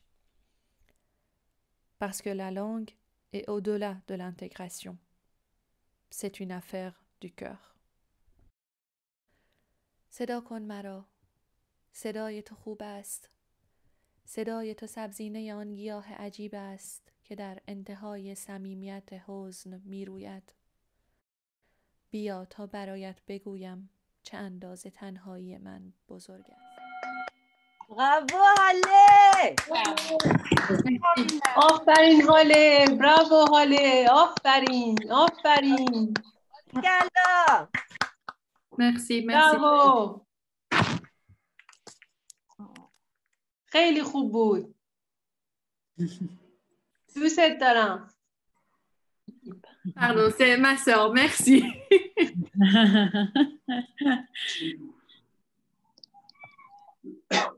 Alors, nous allons entendre maintenant le peuple qui manque. Al- Alyosha et Kentuka. Kentuta, pardon. Je, je vais lire seule, en fait, finalement. Donc, je suis Kantuta Kiro, je suis curatrice et théoricienne de l'art et je suis en effet euh, la moitié de ce duo, duo curatorial qui s'appelle Le peuple qui manque. Alors, euh, d'abord, merci. euh, voilà, je suis très heureuse d'être avec vous ce soir et il me semble que ce dispositif euh, touche euh, assez- d'assez près euh, ce que peut être l'expérience poétique, d'être à la fois ensemble et séparés, seuls et réunis. Alors, je vais lire deux poèmes. le premier très court, qui me semble résonner fortement en ce moment. Le premier poème est celui de celui qui n'écrivit finalement qu'un seul poème toute sa vie, Poésie verticale, de l'Argentin Roberto Juaros. Seule la lézarde de la privation. Seule la lézarde de la privation nous rapproche de la rencontre. Et si la rencontre se produit, peu importe qu'elle soit une autre lézarde, seulement ainsi trouvons-nous le secret de la première. Pourquoi ressentons-nous ce qui n'est pas comme une privation? Est-ce la seule façon de le faire exister. Puis euh, les mots d'Anna Grecki, euh, donc la poétesse algérienne Anna Grecki, euh, qui était une militante de la cause anti-coloniale en Algérie pendant la guerre d'Algérie, et notamment militante du FLN, et qui écrivit donc ce poème que je vais lire en 1957-58 euh, depuis la prison d'Alger, adressé, ce poème adressé à Ahmed Inal, qui euh, fut assassiné euh, dans le maquis algérien. Et les textes d'Anna Grecki ont été euh, rassemblés euh, récemment par les éditions Terrasse, que j'en profite euh, pour saluer euh, pour le très beau travail qu'ils font de réactivation des héritages euh, des internationalismes euh, poétiques, des poésies des Suds, euh, sous le nom d'un recueil qui s'appelle Juste au-dessus du silence. Arrogant, tel un très jeune homme, il ressemble à la liberté. Il ressemble tellement à la liberté, ce ciel tendre, plus qu'un oiseau, ce ciel adulte, que j'en ai la gorge serrée. Ciel de vingt ans qui veut aller nu triomphant comme une insulte, la gorge serrée, à ne plus pouvoir parler. Corps défendu, corps parfumé, ciel sans pitié. La gorge nouée sans pouvoir dire à quel point je suis triste à cause de la couleur du ciel. Déployant ses muscles soyeux, il ressemble à la paix. Il ressemble tellement à la paix, ce ciel des sans désirades, ce ciel paisible, que j'y vois des hommes libres s'y promener, à l'ombre des eucalyptus et des fontaines, où viennent boire tranquilles les sangliers. Et si j'ai des yeux à l'épreuve du soleil pour fixer ce ciel dérimé, c'est parce que je suis triste à cause de la couleur du ciel. Il ressemble à mon amour, il ressemble tellement à mon amour, ce ciel à portée de main, ce ciel lointain, que j'en ai le cœur battant. Ciel jamais atteint, lèvres mordues, pupilles au large dans les yeux, le cœur battant comme une truite sur la rive, charnue d'un ciel coupé, en herbe, ce blé vif. J'en ai le cœur battant à ne plus savoir que je suis triste à cause de la couleur du ciel. Poursuivi, poignardé, présent, il ressemble à mon pays, il ressemble tellement à mon pays, ce ciel persécuté, ce ciel bleu comme la colère, comme l'ombre de la mer bleue persévérant que j'en ai la tête haute. Ciel nourrissant, ciel oxygéné, ciel directeur, ciel tenace, tel un parfum de paix, de liberté, d'amour, la tête haute malgré le poids des nuages. J'ai la tête haute et je n'ai jamais dit que je suis triste à cause de la couleur du ciel. Voilà. Merci beaucoup d'avoir lu un poème d'elle.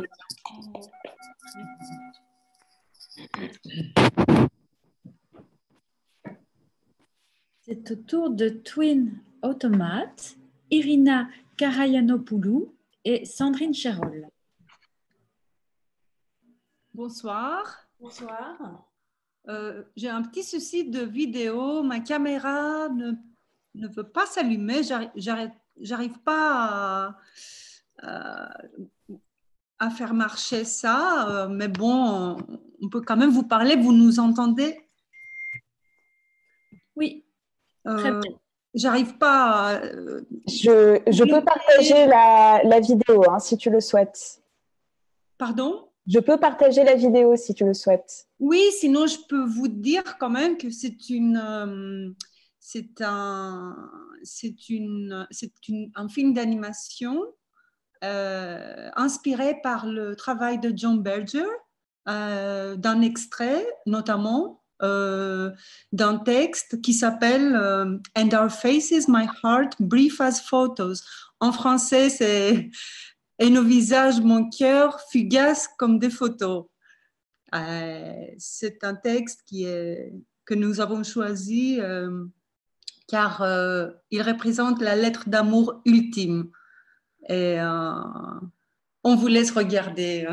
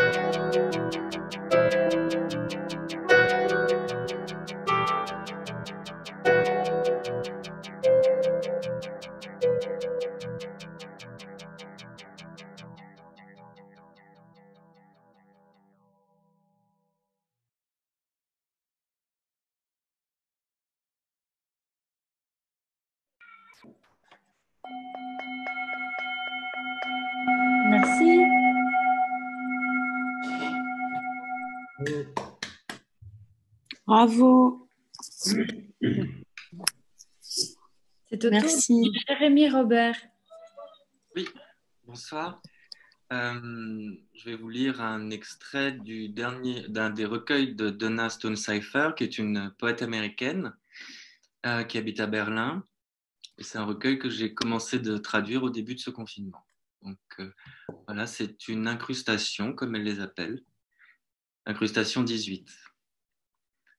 La ville était pleine d'horloges publiques sur des poteaux, mais la plupart s'étaient arrêtées. On le remarquait surtout la nuit.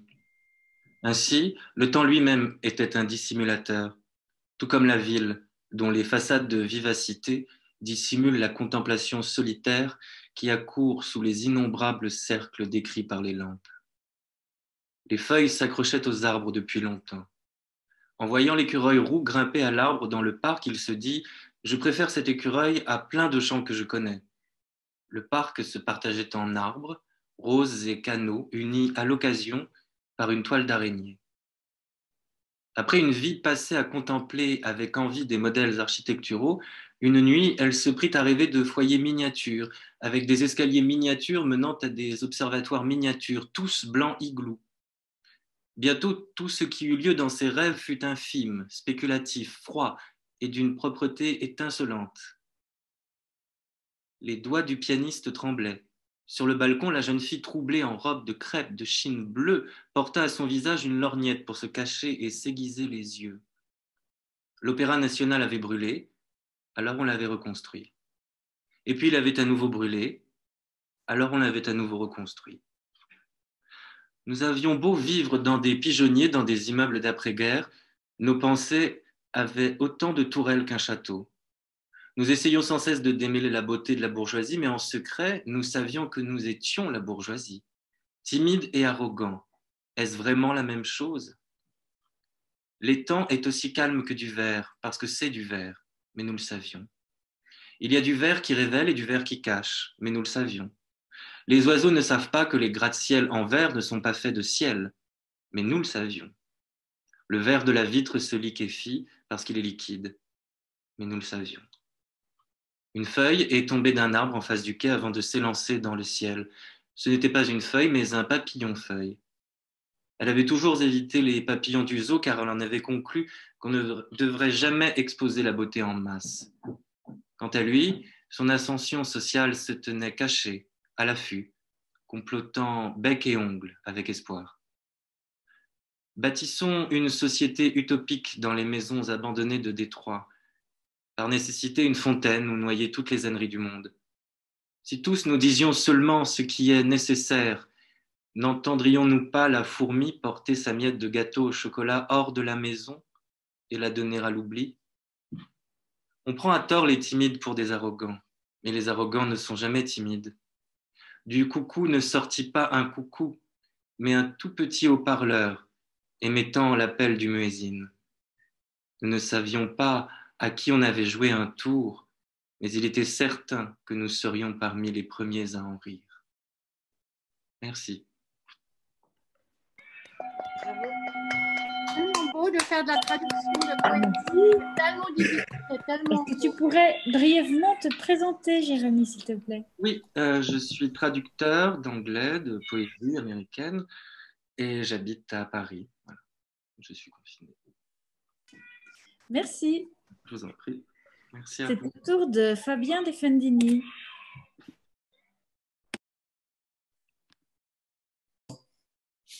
Bonsoir. Donc euh, oui, je me présente vite fait. Je- J'accompagne des, des projets artistiques en art de la scène euh, majoritairement depuis 2013. Et voilà, je travaille actuellement euh, pour la compagnie Thor à Bruxelles. Voilà, donc euh, la, semaine passée, du coup, j'ai présenté un texte qui datait de 5 ans. Là, c'est un texte qui est tout frais. Euh, j'ai encore corrigé euh, quelques phrases euh, encore euh, pendant même cette soirée. Donc euh, voilà, je, ne sais pas le degré de, euh, fixation dont il est la cause aujourd'hui, mais euh, voilà. En tout cas, je vais vous proposer une modalité de lecture particulière, je pense. Le texte s'appelle Ce que peut la poésie ou essaie de faire dormir.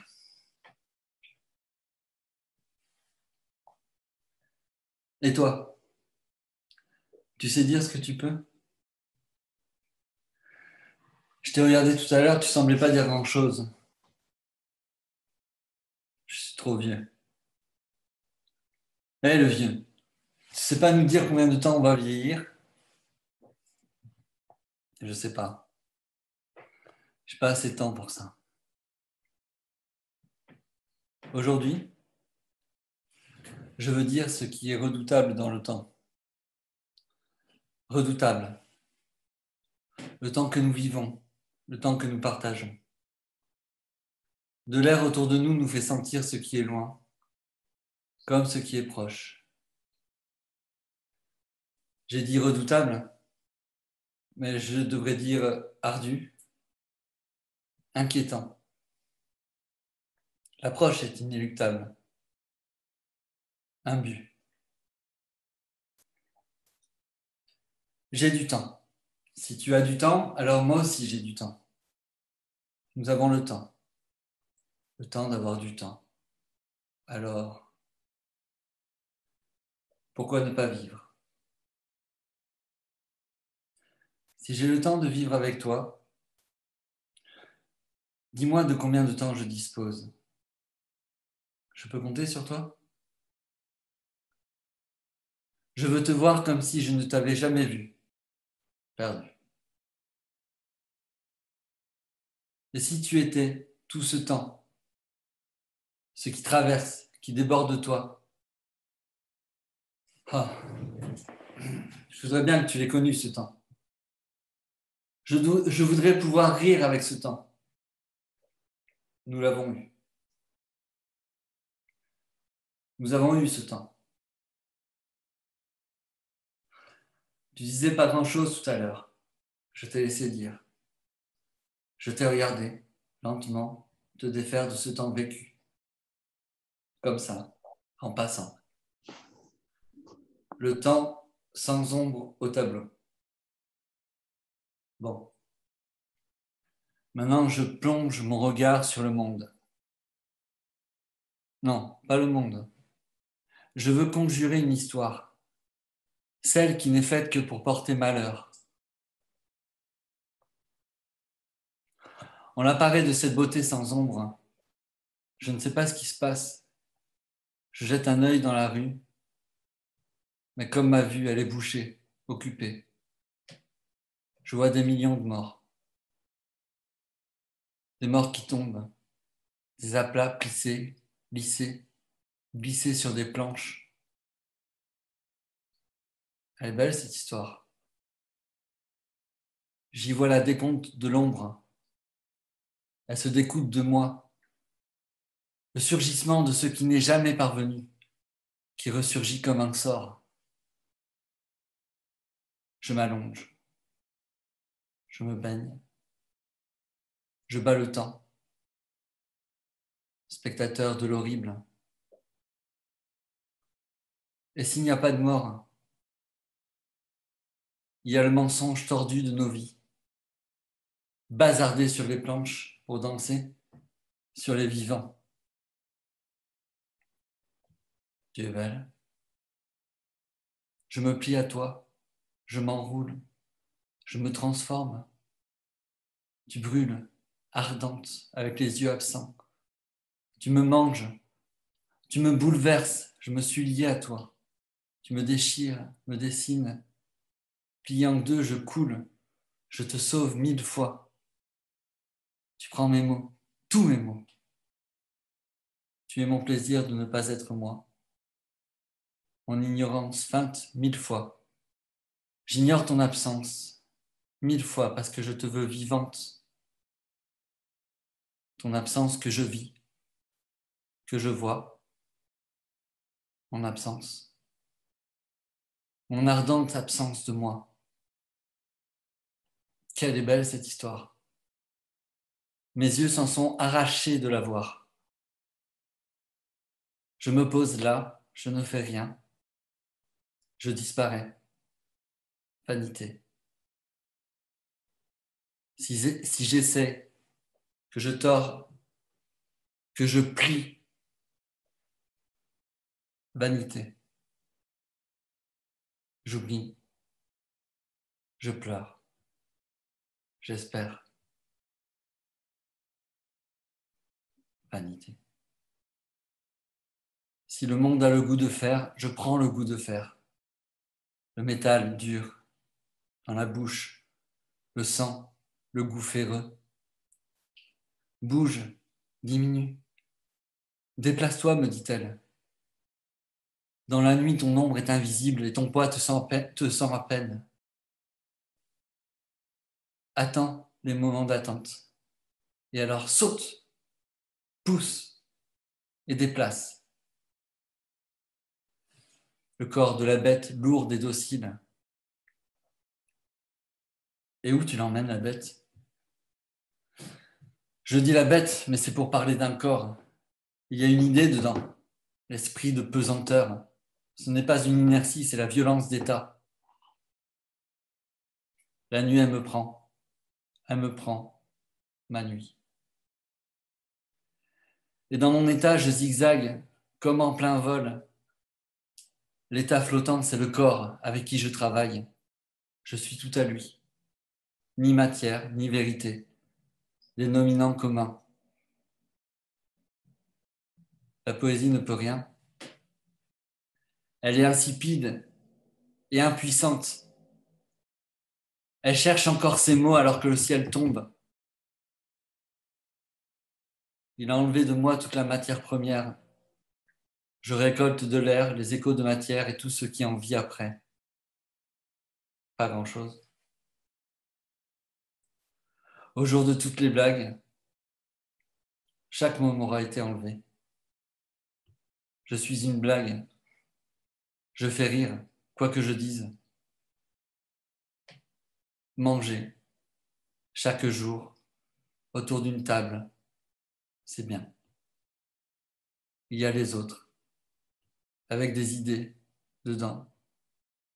Et comment vivre alors? Je ne dis pas ce qui est. Bazar. C'est même pas politique. C'est ce qui nous est donné. On nous dit là, pas mieux. Dit-on.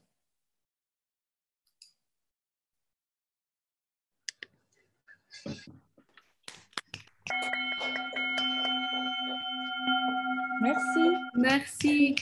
Merci. Bravo. Elle cherche encore ses mots. Bravo entendre Agnès Ternauer.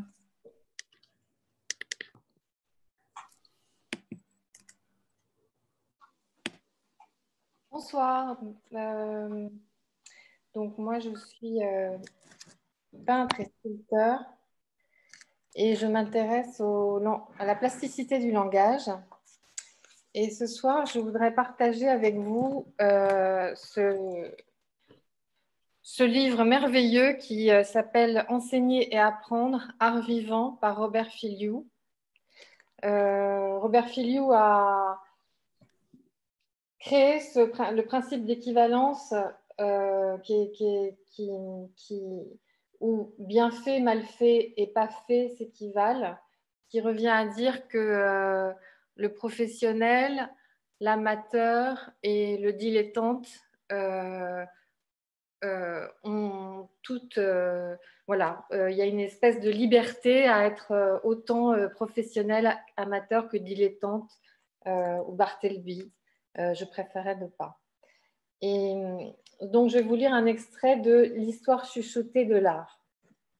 Et j'essaie de le faire avec Robert qui est au-dessus de nous là. Tout a commencé un 17 janvier il y a un million d'années. Un homme s'empara d'une éponge et la plongea dans un seau d'eau. Le nom de cet homme n'est pas important. Il est mort, mais l'art est vivant. Pas besoin de nom dans cette histoire. Je disais donc qu'un 17 janvier, vers 10 heures du matin, il y a un million d'années, un homme était assis seul près d'un ruisseau. Où les ruisseaux courent-ils? se dit-il, et pourquoi? C'est-à-dire, pourquoi les ruisseaux courent-ils? Ou pourquoi courent-ils là où ils courent? Ce genre de choses. Moi, un jour, j'ai observé un boulanger au travail, puis un forgeron, puis un cordonnier au travail. Et j'ai remarqué que l'utilisation de l'eau était essentielle à leur travail, mais peut-être que ce que j'ai remarqué n'est pas important. De toute façon, du 17, on passe au 18, puis au 19, au 20, au 21, 22, 23, 24, 25, 26, 27, 28, 29, 30, au 31 janvier. Ainsi passe le temps. Au cœur de l'hiver, il y a 100 000 ans, le 17 février, pour être plus précis, un homme se pencha vers le sol et ramassa une poignée de neige. Le nom de cet homme n'est pas important, il est mort, mais l'art est vivant. Pas besoin de nom dans cette histoire. Se penchant vers le sol, donc le 17 février, il y a 100 000 ans, un homme ramassa une poignée de neige, il la porta à son oreille, il serra la neige très fort, il entendit Essayez donc un jour, prenez une bouteille de vinaigre dans la main droite et dans la main gauche un morceau de craie. Faites tomber quelques gouttes de vinaigre sur le morceau de craie et voyez ce qui arrive. Mais peut-être que ce que vous voyez n'est pas important. De toute façon, du 17, on passe au 18, puis au 19, au 20, au 21, 22, 23, 24, 25, 26, 27, au 28 et tous les quatre ans au 29 février. Ainsi passe le temps. Un 17 mars, il y a 10 000 ans, un homme s'acheta une bouteille de bière.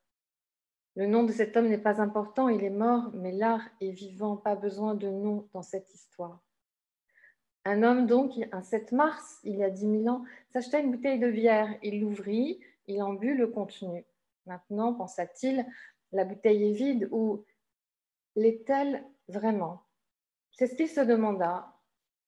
N'y a-t-il vraiment rien dans la bouteille? Ma femme aussi, quand elle marche dans le brouillard, se demande souvent ce qu'est le brouillard et quand elle regarde les nuages, elle se demande ce que sont les nuages c'est ce qu'elle me dit, mais peut-être ce que me dit ma femme n'est pas important. De toute façon, du 17, on passe au 18, puis au 19, au 20, au 21, 22, 23, 24, 25, 26, 27, 28, 29, 30, au 31, mais ainsi passe le temps. Il y a 100 ans, un 17 septembre, un homme saisit un marteau et descendit au sous-sol de sa maison. Le nom de cet homme n'est pas important, il est mort, mais l'art est vivant. Pas besoin de nom dans cette histoire. Un homme saisit un marteau et descendit au sous-sol de sa maison un 17 septembre il y a 100 ans. Il prit un morceau d'anthracite puis un morceau de charbon. Il les plaça côte à côte avec le marteau. Il frappa l'anthracite puis il frappa le charbon. Puis il compara les résultats. Quant à vous, si vous le souhaitez, allumez une bougie, mettez de la farine dans le creux de votre main, soufflez la farine dans la flamme de la bougie. Entendez-vous quelque chose? Mais peut-être que ce que vous entendez n'est pas important. De toute façon, du 17, on passe au 18, puis au 19, au 20, au 21, 22, 23, 24, 25, 26, 27, 28, 29, au 30 septembre. Et ainsi passe le temps. Il y a cinq ans, le 17 novembre, un homme se tint au bain d'un escalier le nom de cet homme n'est pas important. Il mourra bientôt, mais l'art est vivant. Pas besoin de nom dans cette histoire. Ce 17 novembre, il y a cinq ans, un homme se tint au bas d'un escalier. Il compta les battements de son cœur pendant une minute. Puis il monta les marches en courant. Quand il arriva en haut, il compta de nouveau les battements de son cœur. Vous aussi, en automne, vous pouvez mesurer la hauteur d'un petit arbre Attendez le printemps suivant et mesurez l'arbre une nouvelle fois. A-t-il poussé pendant l'hiver? Et savez-vous pourquoi? Mais peut-être que ce que vous savez n'est pas important. De toute façon, du 17, on passe au 18, puis au 19, au 20, au 21, 22, 23, 24, 25, 26, 27, 28, 29, 30, au 30 novembre. Ainsi passe le temps. Le 17 décembre, il y a un an, un homme s'empara d'une éponge et la plongea dans un seau d'eau. Le nom de cet homme n'est pas important, il mourra bientôt. Mais l'art est vivant, pas besoin de nom dans cette histoire. Ce 17 décembre, je l'ai déjà dit il y a un an, un homme s'empara d'une éponge et la plongea dans un seau d'eau. Il attendit cinq secondes, puis il retira l'éponge. Il la pressa, il vit que qu'importe ce qu'il vit, je n'essaie pas de tirer une conclusion. Ne pas essayer de conclure, seul cela est important. Veuillez vous rappeler que le 17 décembre est suivi par le 18, puis le 19, le 20, le 21, le 22, le 23, le 24, le 25 décembre. Et que le 25 décembre, Jésus est né. C'est du moins ce que disent les chrétiens. Les juifs le réfutent, les musulmans sont partagés à ce sujet, les bouddhistes ne s'en préoccupent pas, de même que les communistes et les athées. Quant aux artistes, mais ce que disent les artistes, c'est une autre histoire. Texte ajouté par Marceline. Il y a trois ans, le 2 décembre 1987, un homme est mort, assis dans son lit. Le nom de cet homme n'est pas important, parce que là est vivant. Pas besoin de nom dans cette histoire. Comme je le disais, il cessa de respirer. Avez-vous déjà essayé d'observer votre respiration en imaginant le jour où elle s'arrêtera? Où s'en va-t-elle? Papa, je t'aime. Marceline Filiou, 1990. Génial Agnès. Bravo, merci. Bravo, Agnès. Merci C'est beaucoup. Filou, c'est Filiou. Oui, c'est Filiou, c'est. On le connaît pas assez. Non, c'est une merveille. Une merveille, ouais. Bravo. c'est le jour de l'art, grâce à lui. Bah ouais. Merci Agnès, c'est beau. Merci à vous. Merci, merci à vous.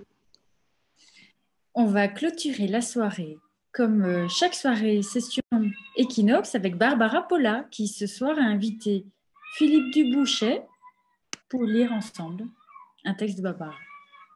Bonsoir à tous. Euh, Donc, je suis Philippe euh, Dubouchet. Donc, tout d'abord, ben, je, je, tiens à remercier Nathalie pour nous organiser ces équinoxes poétiques tous les jeudis soirs dans ce confinement qui m'enchante. Et je remercie également euh, donc Barbara, euh, puisque nous avons lu- voulu lire ensemble un de ces merveilleux textes euh, poétiques. Je suis Barbara Pola. J'aime les chantiers, tous les chantiers. Et sur les chantiers, j'aime en particulier les grues. Et alors, j'ai décidé d'écrire une histoire d'amour, une histoire d'amour entre une grue de chantier et son grutier. Alors, c'est un amour un peu compliqué, hein, comme tous les amours. Je suis sa grue. Travailler ensemble, c'est multiple. Il m'utilise, je le sers, je suis là pour lui, je fais ce qu'il demande, je fais ce qu'il commande. Il ne peut pas sans moi. Et fonctionner avec lui, c'est être avec lui. Je l'ai connu sur un chantier de nuit. Les grues comme moi aiment la nuit, mais on ne travaille pas toujours la nuit. Et quand on ne travaille pas, il s'en va. Il s'en va la nuit, le samedi, le dimanche, il s'en va à Noël. Il reste avec sa femme et ses enfants. Heureusement, chaque lundi, il revient, sauf pendant ce qu'ils appellent les fêtes. Les grues comme moi n'aiment pas ce qu'ils appellent les fêtes. Mes fêtes à moi, c'est les jours de la semaine. Le meilleur, c'est le lundi, parce qu'après lui, il y a le mardi et tous les autres jours, sauf le vendredi. Les grues, comme moi, détestent le vendredi, parce que le soir du vendredi, il s'en va pour deux jours et trois nuits. Les grues, comme moi, détestent aussi le samedi. Mais je danse, je danse toute la nuit j'écoute la ville, le silence des chantiers et les murmures de la ville. Avant, j'étais comptable. Mes parents voulaient que j'ai un bon métier. Mais moi, j'aimais la poésie, alors je suis devenu grutier. J'ai découvert la poésie avec ma grue. J'étais un très mauvais poète, mais je suis un excellent grutier. Pour ce métier, il faut aimer l'autonomie, il faut aimer travailler seul. On dit de nous que nous sommes les solitaires du vertige. Ce n'est pas pour toi si tu aimes travailler en équipe ou en groupe. Ce n'est pas pour toi si tu aimes être en société. Car le seul binôme possible, comme grutier, c'est avec ta grue. Tu es seul, seul avec elle. Parfois, mais pas toujours, on a un élingueur, un chef de manœuvre qui assure les gestes de commandement, qui fait le lien entre nous les grutiers et ceux qui sont en bas qui veillent à notre sécurité réciproque. Alors on dit qu'on est trois, ta grue, ton élingueur et toi. Mais en réalité, c'est toujours elle et toi. Il est très bien organisé. Il est d'une grande maîtrise. Et moi, moi, je lui dis ce qu'il doit faire. Je lui dis discrètement, mais il sent bien qu'il doit me suivre, que je sais comment il doit me guider, comment m'utiliser au mieux, comment être au mieux avec moi. Elle a toujours le dernier mot. Il faut suivre ce qu'elle dit et après, c'est bon.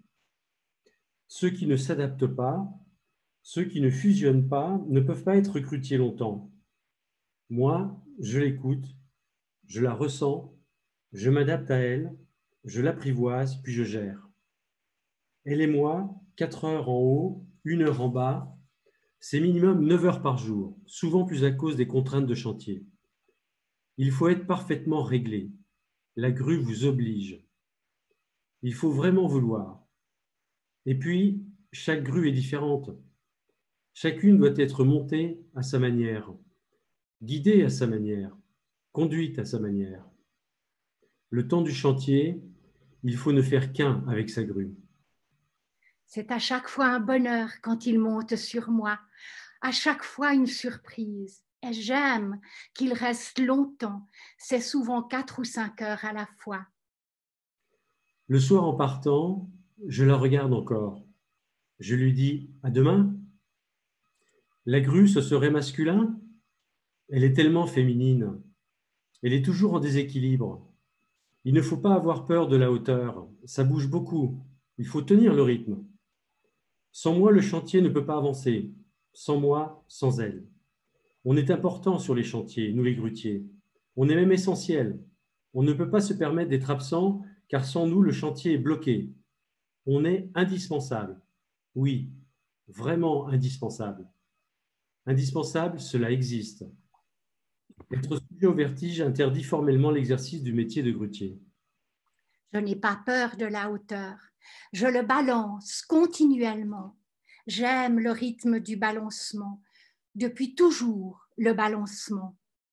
Et j'apprends tous les jours à ne pas être dépendante de lui, à vivre pour moi-même, à danser seule, à regarder le monde. C'est la dépendance qui crée le chagrin il renonce à beaucoup de choses pour vivre avec moi. C'est une lourde responsabilité que d'être grutier.